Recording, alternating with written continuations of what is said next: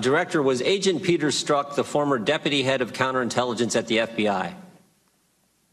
I don't remember his exact title, but I believe that's correct. And he's the same Peter Strzok who was a key player in the Clinton investigation, the same Peter Strzok who interviewed Cheryl Mills, Huma Abedin participated in the Clinton uh, Secretary Clinton's interview, and he's also the same Peter Strzok who now we know changed Director Comey's exoneration letter, changed the term gross negligence, which is a crime, to extreme carelessness. Is that the same guy?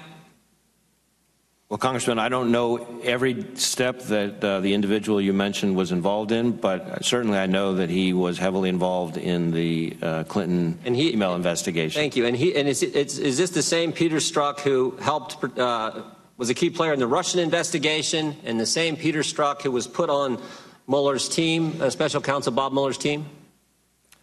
I certainly know that he was working on the special counsel's investigation. Whether or not he would be characterized as a In the key same- player on that investigation, that's Okay, really not the- for me to say. and the same Peter Strzok that we learned this past weekend was removed from the special counsel team because he exchanged text messages with a colleague at the FBI that were displayed a pro-Clinton bias. Is that accurate? yes. Talk about the same guy. Okay. Yes. Well, here's what I'm not getting.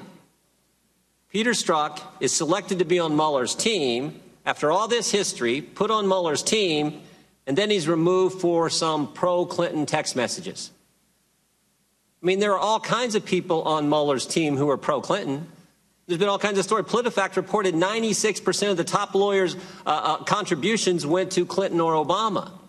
But Peter Strzok, the guy who ran the Clinton investigation, interviewed Mills, Abedin, interviewed Secretary Clinton, changed gross negligence a crime to the term extreme carelessness, who ran the Russian investigation, who interviewed Mike Flynn, gets put on Mueller's team, and then he gets kicked off for a text message that's anti Trump. If you kicked everybody off Mueller's team who was anti Trump, I don't think there'd be anybody left. So here, here there's got to be something more here. It can't just be some text messages that show a pro Clinton, anti Trump bias. There's got to be something more. And I'm trying to figure out what it is. But my hunch is it has something to do with the dossier. Director, did Peter Strzok help produce and present the application to the FISA court to secure a warrant to spy on Americans associated with the Trump campaign?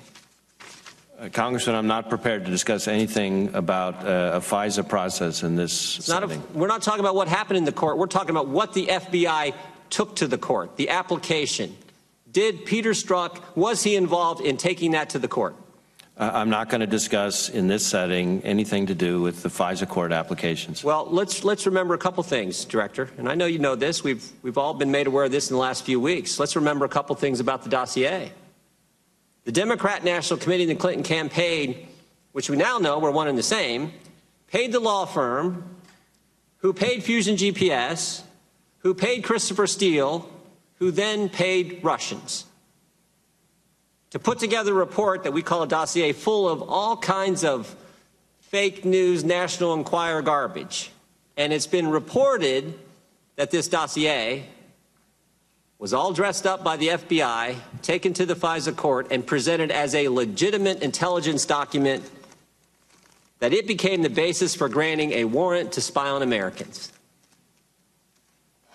And I'm wondering, you- you- I'm I'm wondering if that actually took place. It sure looks like it did. And the easiest way to clear it up is for you guys to tell us what was in that application and who took it there.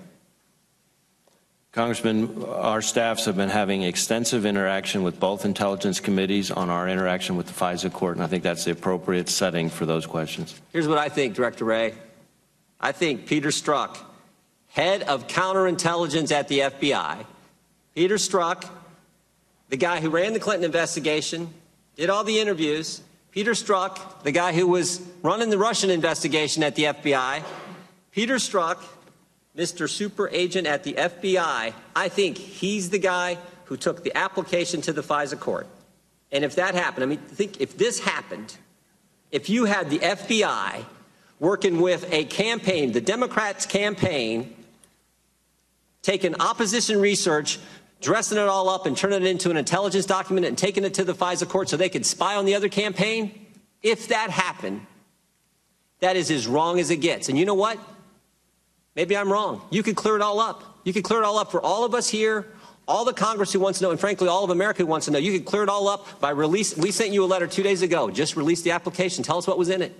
Tell us if I'm wrong. But I don't think I am. I think that's exactly what happened. And if it did, it is as wrong as it can be. And people who did that need to be held accountable. Congressman, we will not hesitate to hold people accountable after there has been an appropriate investigation, independent and objective, by the Inspector General into the handling of the prior matter. And based on that, I will look at all available remedies, depending on what the facts are when they are found. As to the access to the dossier, that's something that is a subject of ongoing discussion between my staff and the various intelligence committees. There's nothing prohibiting you, Director. Is there anything prohibiting you from showing this committee the what was presented to the FISA court? The, the application you all put together at the FBI that was presented to the FISA court. Is there anything preventing you from showing us that? The time the gentleman has expired. The director can respond. I do not believe that I can legally and appropriately share a FISA court submission with this committee. I'm talking about what the FBI put together, not what the court had. What, what you took there. What was the, app, the process put together? What you presented. What you took to the court. When, when I sign FISA applications, which I have to do almost every day of the week, they are all covered with a classified information cover. So that's part of why Director, we is would it not be likely that Peter it. Strzok, is it likely that Peter The Strzok played a part in the application presented to the FISA court? The gentleman's time has expired. However, I do want to follow up on your last response to the gentleman. This committee, the House Judiciary Committee, has primary jurisdiction over the Foreign Intelligence Surveillance Court. Yeah. Uh, so any request for documents coming uh, to any part of the Congress should include the House Judiciary Committee, and if it uh, uh, is classified in any way, shape, or form, it can be provided to us uh, in a classified setting. But uh, that is information that we are very much interested in, Mr. Chairman? and very much want to receive. Just a question to the chairman.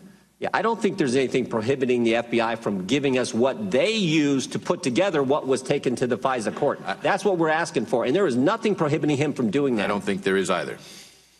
The time of the gentleman has expired, however. You care to respond to that, Director Wray? No, I think I've covered it.